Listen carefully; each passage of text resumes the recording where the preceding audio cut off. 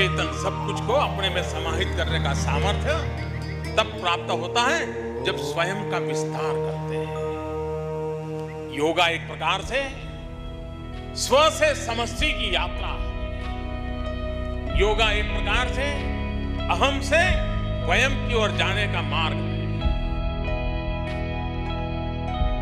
शरीर, मन, बुद्धि, आत्मा ये सिंक्रोनाइज वे में काम करें। इसकी एक ट्रेनिंग योग के द्वारा होती है।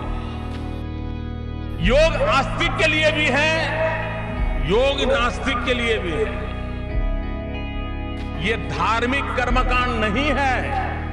ज़ीरो बजट से दुनिया में कहीं पर भी हेल्थ इंश्योरेंस नहीं होता। है लेकिन योग ऐसा है जो ज़ीरो बजट से हेल्थ एश्योरेंस देता है।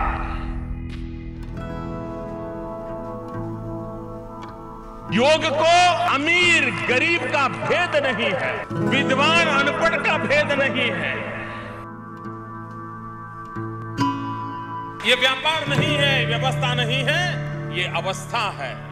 एक जगत के कल्याण के लिए, मानव के कल्याण के लिए जन जन के भाग्य को बदलने के लिए ये भारत की भूमि का योगदान है। परमात्मा ने हमें भी जो सॉफ्टवेयर दिया है ना, हमें उसके यूज़र मैनुअल का पूरा पता ही नहीं है। हमें भी मालूम नहीं है कि परमात्मा ने हमें क्या क्या दिया है। अगर हम योगा के माध्यम से उस यूज़र मैनुअल को पढ़ना सीख लें तो फिर उपयोग धीरे धीरे आ ही। इंतज़ार मत कीजिए। इस जीवन में योग को जीवन का हिस्सा बना दीजिए।